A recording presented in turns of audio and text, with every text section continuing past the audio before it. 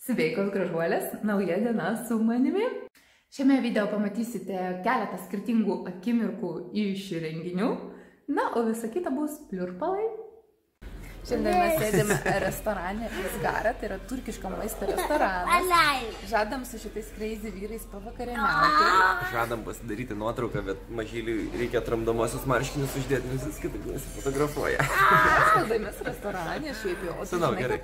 Restorane reikia. O tai kaip viešai vaikai žiūrės į tave ką? Kaip žmonės žiūrės į tave ką? Va. O. Dabar jau privaidina gerą vaiką. Oi, tu. Bandysime valgyti kažkokią trijų patiekalų turkišką Aš vakarienę. valgysiu graikišką kažkokį jogurtą, ne jogurtą, uogom. sūri graikišką. Keptas. Ir gersiu um, vadovai kolai. Eik, tai įsidirbinėtai jau tu mažas. Jo, vaikų irgi šventė. Na, o mes ką valgysim dar nežinom. Dar tai nežinom, nes- tikriausiai surprizas. Kažką turkiško, nes virtuvėje, virtuvėje vieni turkai. Tai bent tiek žinom. Pradžioje. Mažylis šiandien nustebo, kad į vandenį galima dėti agurkus. Pirmas mūsų patiekalas yra užkandis. Sunku suprasti, kas tai yra. Kažkokios daržovės, po to dešrelės. Na ir bandelės. Wow, kokios įspūdingos bandelės. Kai kas jau skanauja. Kaip? Na, kad valgysime šiandien netipiškai, tai jau tikrai netipiškas maistas mums. Kaip tu valgysi bandelės? Taip iš arti tave paėmė. Savaitę nevalgiau, tai gal galiu paragauti. Savaitę bandelį, man atrodo, tu nevalgy bandelių, tai daug, daug ilgiau. Bandelį jo, bet ten kokiu nors. Šiandien valgiau tris saldainius. Šiandien penktadienis. Prisipažinai. Oi, tiesiog saldaininis vyras pats kaip saldainis. Taip. Na ką, ragausim? Aš labai noriu paragauti, man įdomu, kas čia yra. Tai žinoma, dešrelės. Nu, čia yra dešrelė, žinau, o ten yra, man atrodo, grybai. O, ne, arba daržovės. Na ką, šita bandelė tai yra skaniausia, yra tokia šilta labai. Dešrelės tai tokias aštresnės, na, o daržovės standartinės turkiškos daržovės. Mano, mano vyras. Dešrelė. Patiko? Suri ir aštri. Ir nepanašiai popierių. Būna lietuviškas. Sekantis dalykas yra mūsų karštas patiekalas toksai turtingas. Na ir dar prie jo daržovės. Daržovės paprastos, bet atrodo visai skaniai. Čia guma, krantama, raškinė ir Iš kur tu ją gavai? ten yra. Tau davė? Tai Ar tu nusipirkai? Ką? O kas tau nupirko? Ką ten atsineša? Tu pilną maišą pirkom. Nu. Išleidom. Šimtą eurų. Ne, ten pasirodo priklauso du desertukai mums ir dar šešis nupirkau. Tai va, Tik šešis? šešis. Tai. Sekanti diena išsirašiau į vyro darbo gimtadienį. Dažnai manęs klausėte, kuogi dirba mano vyras, kurgi jis dirba. Tai a, šiandien būtent jų įmonės, kuri vadinasi Alijanso partneriai, yra vienerių metų gimtadienis. Kągi veikia ši įmonė, ji parduoda iš tikrųjų įvairius saviugdos mokslus. A, Mano vyras, sakykime, kūruoja šį visą projektą. Na ir pažiūrėsime, kaipgi jie šve- šiandien švęsta gimtadienį, kiekgi jų tų partnerių susirinks. Visi tie partneriai padeda žmonėms tiesiog atrasti save per saviugdos įvairius mokslus, susitvarkyti savo gyvenimą, susitvarkyti santykius ir panašiai. Juk mokykloje mūsų moko įvairių dalykų, kaip kad matematikos, literatūros ir panašiai, bet nemoko nei santykių, nei gyvenimo apskritai, nei kaip ten tvarkyti savo emocijas, nei apskritai gyvenimą.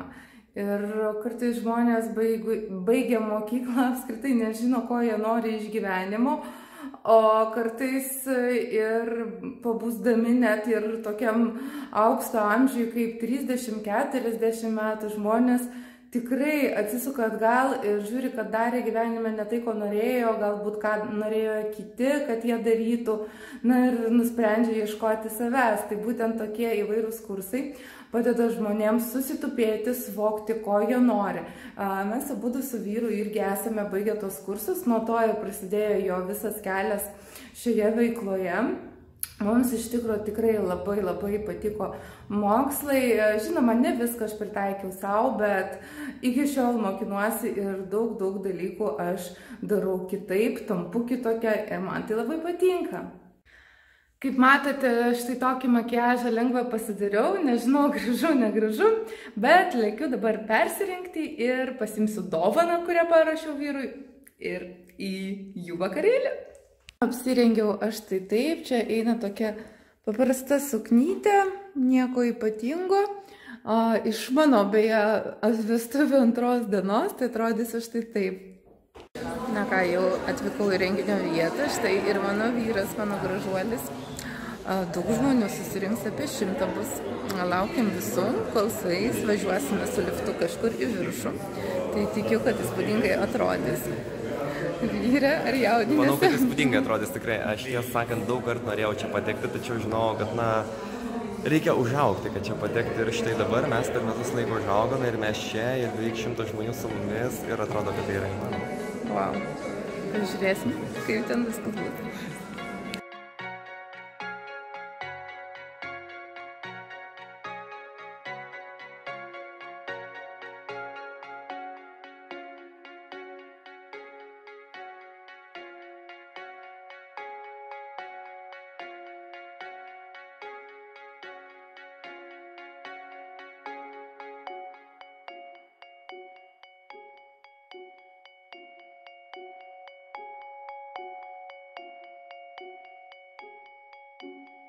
Ir šiandien visi kartu mes turime pirmąjį alijansin gimtadienį. Prabėgo metai, labai greitai. Pasiplokim patys savo. Metu šiek tiek daugiau negu metu. Čia pirmą savaitę. A, pirma savaitė, visa pradžia buvo čia, tai buvo mūsų ofisas, kur buvome mes keturiese, nebuvo nieko, net baldų. Tiesiog buvo, taip, turėjom balioną, turėjom šampano, taurės beje irgi buvo plasmasinės paprastos, nes nebuvo kur padėti stiklinių.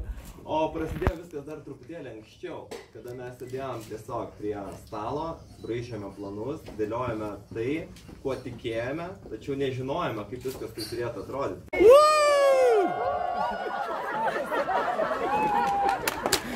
Geras.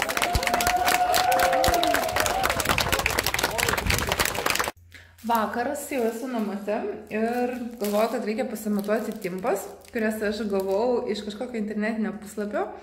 Mm, Pirkau iš užsienio, timpas pamačiau ant savo klientės ir nusipapūginau. Tiesiog nusprendžiau, kad noriu tokių pačių, kaip matote, audinys nėra toks lygus, tai dabar aš būsiu timpų karalienė, kitaip tariant, kadangi šiuo metu taip jau sutapo, kad turiu jų naujų netiek ir mažai.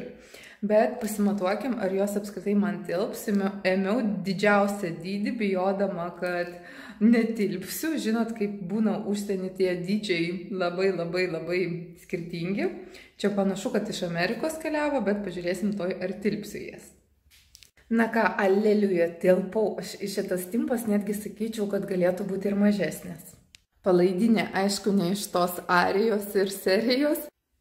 Štai čia užsiraitojau tą palaidinį ir parodysiu jums iš arčiau, kaip atrodo, koks yra audinys. Štai matot, va toks, čia kažkur ženkliukas yra, štai toks.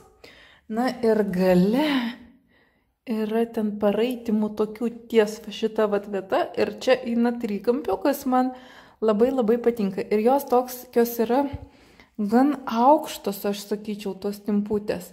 Tai va, tai suma sumarum, aš puikiai į jas Kaip matote, tilpau ir net yra va čia, taip sakyčiau, laisvoka, nes galėtų būti ir stipriau.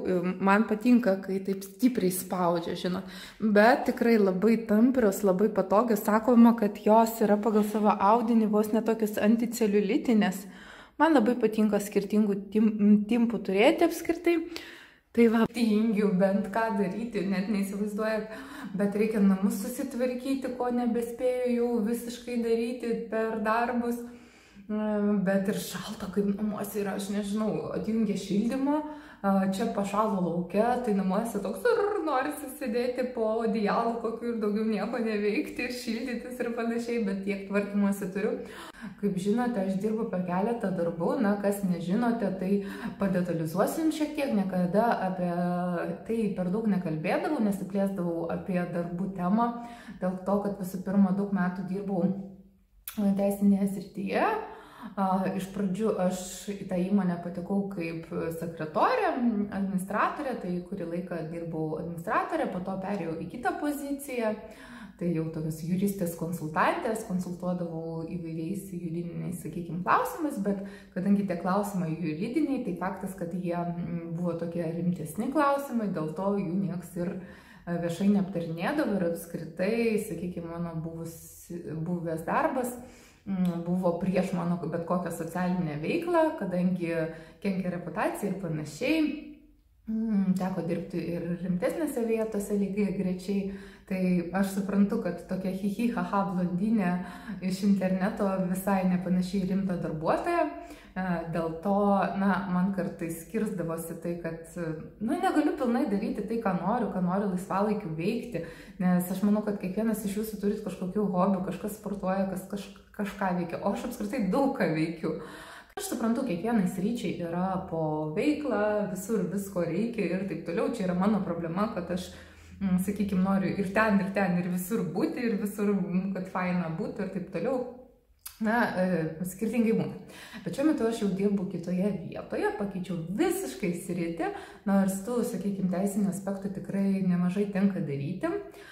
Šiuo metu aš dirbu įmonėje, kuri užsijima brangakmeniais, tai yra labai smagu, nes mes, be ne vieninteliai, iš viso Lietuvoje tikriausiai esam tie, kurie patys apdirbinėja, šlifuoja tos brangakmenis, kur iš tos žaliavos tokios anglies, ar kaip čia be pavadinsi, būtiškai tariant, iš to tokio kažkokio neiškaus akmenuko mes padarome tokį gražų, žvilgantį, akmenuką, kuris jau patenka, sakykime, į juvelyrinį dirbinį ir puikiai žvilga, padarom tą visą katingą nuostabų, kad akmenukas žvilgėtų ir taip toliau. Taip pat atidarėme parduotuvę Vilniaus senamestėje, tai kas norite, tikrai užsukite, kaip sakau, jeigu pirštis, tai būtinai pirštis tik su žiedu pirktų pas mus. Dėl ko? Dėl to, kad mes kontroliuojam visą tą procesą, mes patys superkam visame pasaulyje tą žaliavą, patys ją apdirbinėjom, pas mus dirba tikrai labai labai tokie kvalifikuoti meistrai iš užsienio, kurie turi daugiametę patirtį na, ir užtikrina, kad tas šlifavimas būtų na, aukščiausio lygio. Na ir patys po to turime juvelyrų komandą ir visi įdeda į papuošaliukus tos akmenukus ir taip gimsta tas juvelyrinis dirbinys, tai visą kelią mes kontroliuojam. Nes tiesiog pasakysiu iš dabar jau profesinės patirties tokios naujos ryties, bet aš jau nemažai spėjau paragauti jos, kad labai dažnai iš tikrųjų juvelyrai naudoja jau naudotus akmenukus. Pavyzdžiui, kažkas atneša į lombardą kažkokį žiedą ar papuošalą su, sakykime, briliantais, jie išima tos briliantus, na, įdeda į kažkokį naują, naujai užsakytą papuošalą, na, ir jūs tada puošitės akmenuku, kuris nėra naujas, turi savo istoriją, gal buvo pavoktas, gal buvo e, po mirties kažkam kažkas palikta, na, tiesiog Sakoma, kad e, akmuo toks kaip deimantas, jis labai traukia energetiką, dėl to turi būti švarus. Tai bet, mano mielas damas, kai gaunate, perkate ar panašiai, tiesiog pasidomėkite. Istorija to akmenuko, ar tikrai, tikrai jis yra švarus, naujas. Tai va, tai kaip ir minėjau, dirbu dabar šioje srityje, labai yra smagu. Mm, turime ir užsienyje atstovybę, tikėtina, kad atsidūriau tokioje srityje. Mm, ir Na, manau, kad visuomet gyvenimas mus maloniai nustebina, jeigu tik kažko norime, labai svajojau apie kažkokį tokį darbą, kuris būtų labiau moteriškas, kad produktas būtų toks wow, įspūdingas, tai jis iš tikrųjų yra įspūdingas apie deimantus ten mokytis, tobulintis, gemologijos, ta visas rytis, tai čia tikrai galima be galo be krašto. Ir labai smagu, kad ir internete labai daug yra informacijos apie tai galima pasiskaityti. Nors tiesą sakant, pavyzdžiui, gavusi vad žiedą iš vyro, kai jis man pasipiršo, tai žalio supratimo neturėjau, kas yra tie briliantai, kaip reikia žiūrėti jų švarumą, spalvą ir taip toliau, ir apskritai kokybę kaip tokią. Tai aš tą sertifikatą ten tiesiog buvau pasidėjus kažkur net nežiūrėjau. Po to, kai jau padirbau, kažkiek jau pradėjau suprasti, kad nuo to ir kaina priklauso ir švarumas ir apskritai akmens vertė. Tai va, Jėzau Marija, kaip puoliau, aš su drebančiam rankom žiūrėti to savo sertifikato. Po to nurimau, nes pamačiau, kad mano šitas akmuo yra švarus, gražus ir kokybė nuostabi jo yra. Taip, kad džiaugiuosi, kad mano vyras buvo antiek išrankus, kad išrinko man kažką tokio, nes tikrai jau neleistų profesinis tas toks dalykas, sąžinė, nešioti ir, ir puoštis kažkuom, kas, sakykime, pagal kokybę netitinka standartų mano. Tikrai, tikrai mano muzinas darbuojasi šiuo metu labai labai daug. Kai matote, matėte iš gimtadienio, buvo labai daug žmonių, kurie dirba su juo, iš tikrųjų labai yra smagu. Aš labai džiaugiuosi, kad vis daugiau ir daugiau žmonių domisi saviugda, mokslais įvairiais ir iš tikrųjų, kad tai yra produktas, kurį galima pirkti, e, kurio galima išmokti, e, nes visi visą laiką galvoja, kad viską mes labai mokam, atseit užaugom kažkaip ir, ir jau viską žinom ir mokam, o iš tikrųjų e, žmonės, kurie susipranta, investuoja į save ir supranta, kad Na, mokykloje mūsų nemoko nei jausmų, nei verslo, nieko. E, jeigu universitete kažko išmokstame, tai gerai, bet dažnai tai būna teorija, o praktikos tai būna sausiau. Tad aš, kaip ir minėjau, pati irgi dažnai tobulinu save, savo vidų, stengiuosi kažkiek užaukti, nesekti taip, kaip seniau elgdavausi ir viską žiūrėti tiesiog brandžiau, ieškoti visoko priežasčių, kad viskas nevyksta savaime, kodėl turime tam tikras emocijas, kaip reikėtų savimis tvarkytis, kaip suprasti kitų žmonių emocijas, būklę ir panašiai, kad tam tikri žodžiai, veiksmai gali turėti savo potekstę, kurios mes dažnai neišvelgiam ir tada stebimas, kodėl gyvenime vyksta vienaip arba kitaip. Taip, tai yra be galo gilus dalykai, bet, e, na, pasidomėti, tikrai, tikrai įdomu, aš nesakau, kad viską aš jau ten priėmiau iš tų mokslų, taip, kad jau ten viskas man tinka, tikrai ne viskas, kažką savo pasinaudoju gyvenime, kažkoks požiūris galbūt man nėra artimas, bet, na, kuo labiau aš augu matyti kaip asmenybė, to labiau aš suprantu, kad aš nieko nežinau ir aš labai noriu kuo daugiau naujos informacijos. Nes seniau, kai būdavau jaunesnė, tai visą laiką buvo mano toks požiūris, kad aš viską apie viską žinau ir nieko man čia nereikia mokytis ir aiškintis. Bet kuomet pas vyrą aplinkoje pamatau tų tokių mo mokinių, kurios, kurioms yra ir 50, ir 60, ir su viršum metų, ir 70, nežinau kiek ten vyriausių yra ir jos ateina ir sako, kad jos nori tų žinių, nori save ugdyti, mokytis, tai man tai toks būna wow, kad žmonėm netgi tokiam amžiui ateina ta mintis, kad vis tik nepakankamai kažko išmoko. Tai va, tai Mm, galbūt būtų tiek šiame video, jis toks labiau pliurpalų video apie tai, ką mes dirbam, kaip mes dirbam, gal per daug išsiplėčiau, bet tiesiog, kadangi dažnai klausėte, tai va štai jums ir atsakymas vienu video, kaip kas vyksta. Ir jo, ir ačiū Jums uždėmesi, kad klausėtės, jeigu turite kokių klausimų, video mm, komentarams skirtoje vietoje, klauskite visuomet melai atsakysiu, pakomentuosiu ir viską jums išpasakosiu. Sekančių susitikimų.